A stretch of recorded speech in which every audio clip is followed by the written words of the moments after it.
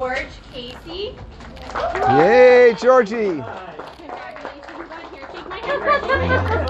You're gonna have to do this in like uh, what, 11 years? No, I don't know how to do math. 12. All right, Aria Day.